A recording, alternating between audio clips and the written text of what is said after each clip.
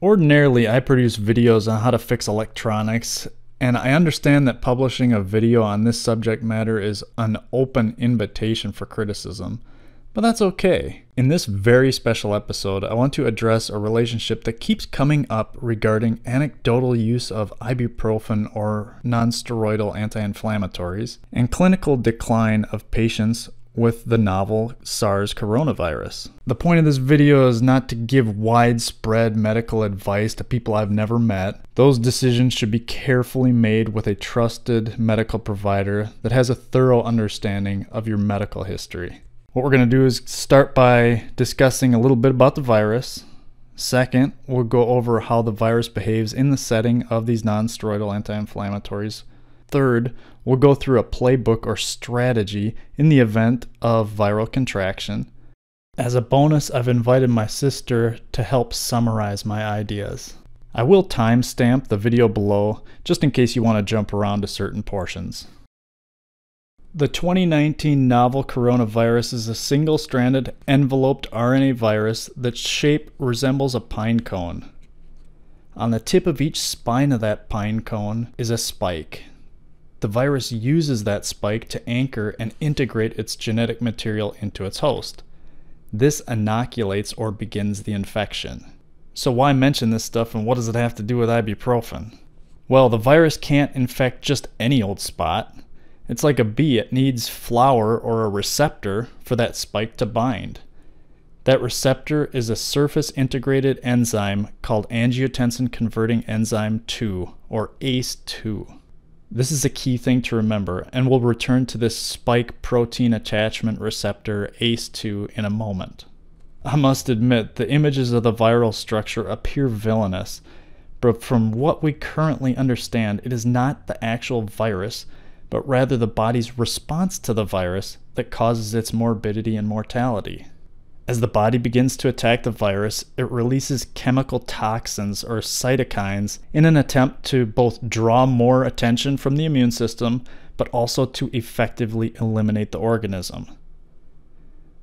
The body assumes a degree of collateral damage during this initial attack, and unfortunately, that damage results in a high level of inflammation, principally focused in the lungs. With each passing day, we're finding the virus infiltrating new tissue. Piggybacking on the idea that inflammation causes this lung injury, it becomes tempting to reach for a highly potent agent that reduces inflammation, like a steroid or a nonsteroidal anti inflammatory, right? Perhaps, but early anecdotal reports suggest that patients clinically declined after use of anti inflammatory drugs like these.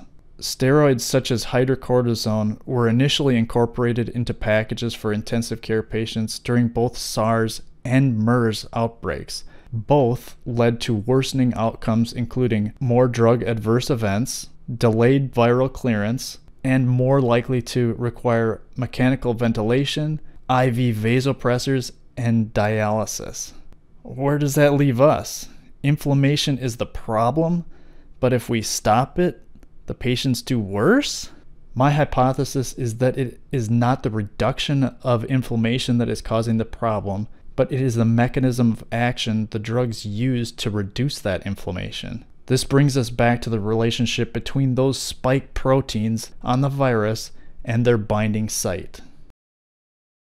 I believe the link is closely tied to the renin-angiotensin aldosterone system, or RAS, and is correlated to the increased levels of aldosterone in the body. These increased levels of aldosterone lead to increased binding receptors for the novel coronavirus, particularly in the lungs.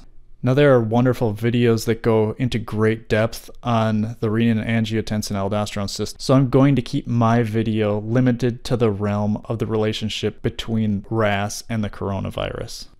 RAS is stimulated by decreased kidney perfusion, which would often be a marker of dehydration, increased beta activity, specifically beta 1, the same stimulus that stimulates your heart to beat, and lowers sodium concentrations in the macula densa of the kidney.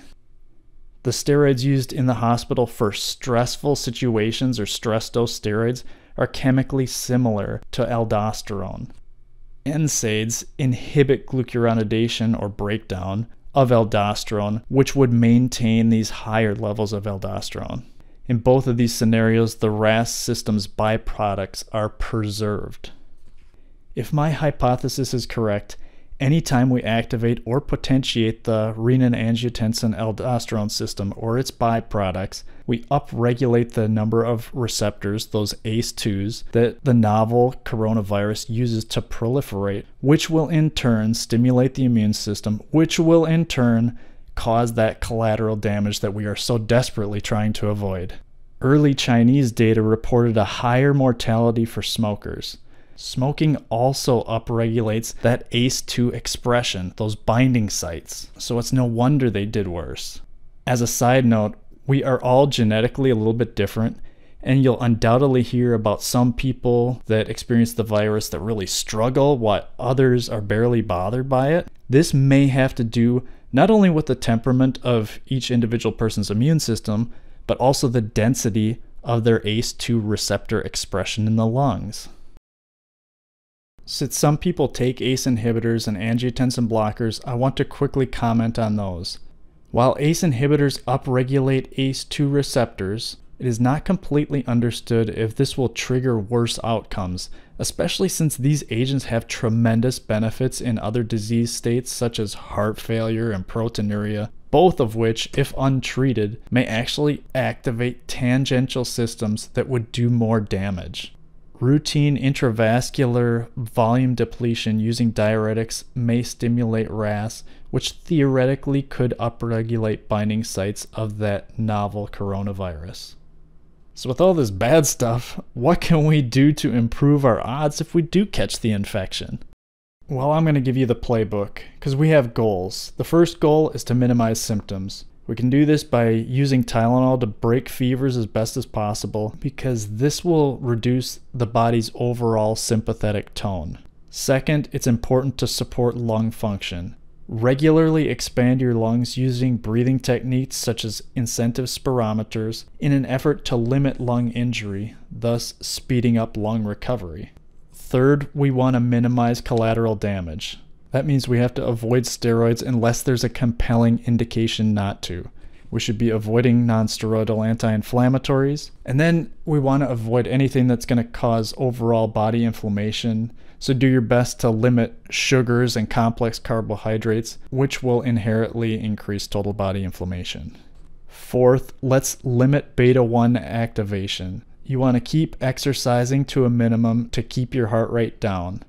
Get plenty of rest, which will not only promote recovery, but will also reduce your sympathetic tone, keeping that heart rate down.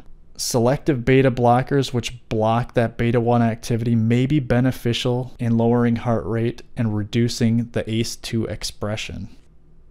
For intensivists, we'll want to try to avoid epinephrine as a first line vasoactive agent. If the patient is diabetic, it's important to control blood glucose levels, especially avoiding those really low blood sugars, which can activate the sympathetic nervous system.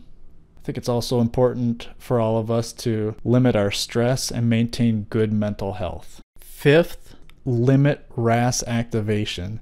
If ACE inhibitors are being solely used for blood pressure control, I think a heartfelt conversation is in order with your healthcare provider about potentially switching agents. We also want to avoid any triggers of RAS, so stay hydrated, preferably using salt containing substances such as soups, unless contraindicated with some patients that have heart failure or kidney problems. And the final goal, we do want to develop viral antibodies to provide immunity.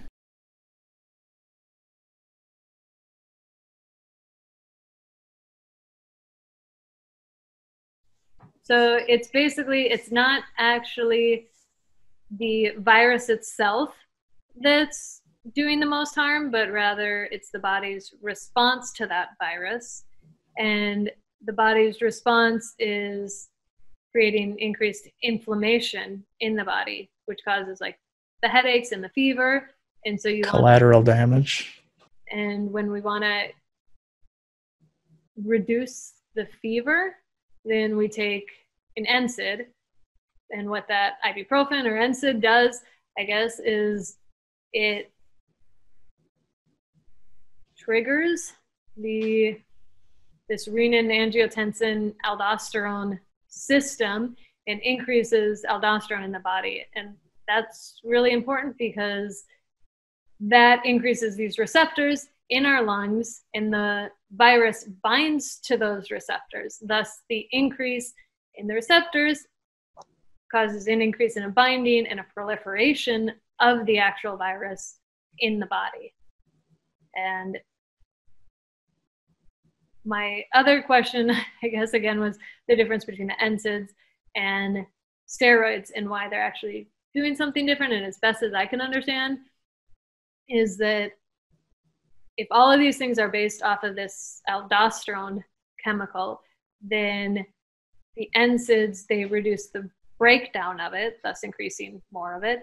And steroids just mimic it, thus increasing more of it. So either of those two medicines are just increasing these receptors and increasing the repercussions of the virus attaching and binding to these receptors. That's as simple as I think I can. That's pretty simple, right? Mm-hmm.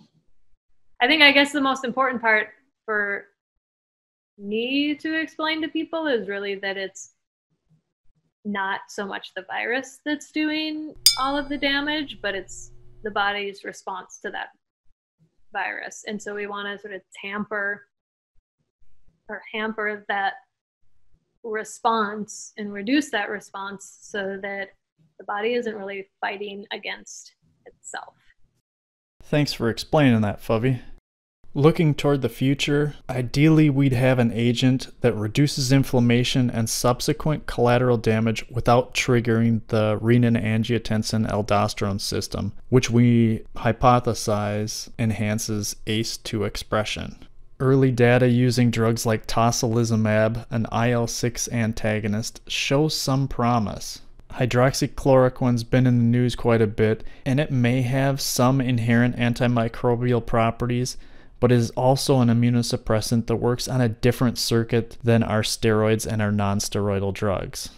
Azithromycin is structurally similar to a class of drugs called mTOR inhibitors, which is a line of immunosuppressant that is known to dampen the immune system's activity. This drug may show some benefit. Getting further into the theoretical, zinc lozenges and zinc supplementation inherently at higher intracellular levels, so inside the cells, zinc impairs RNA viral replication, so that may inhibit the virus from proliferating and taking over some of the tissue. Lozenges may be preferred, as in other viral infections, they prevent viral attachment on mucous membranes, but this property really is unknown regarding the coronavirus.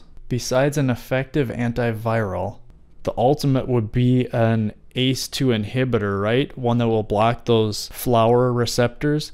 However, I do have some concerns about that. I wonder if ACE2 breaks down bradykinin, and by being bound to the virus, ACE2 is unable to eliminate bradykinin. Now, I didn't really talk about bradykinin before, but it's a chemical that is known to cause dry coughs, especially in those patients that are on traditional ACE inhibitors. But perhaps that's a different theory for a different day. Then, of course, there's the herd immunity versus successful vaccination that we can all hope for. In conclusion, ultimately, we're still learning about this virus, and anyone claiming to have all the answers at this point in time is frankly an imposter. While it's dangerous to blindly take advice, it's also careless to disregard the theoretical without intelligent exploration. I encourage you to consult your healthcare provider before altering your own medical regimen. And don't worry, I'll get back to my regular fix it videos. But if there is interest, I'll post updates regarding the virus as new information comes to light, but I really encourage others with access to more resources than me to perform basic science in this promising field. Thank you for watching.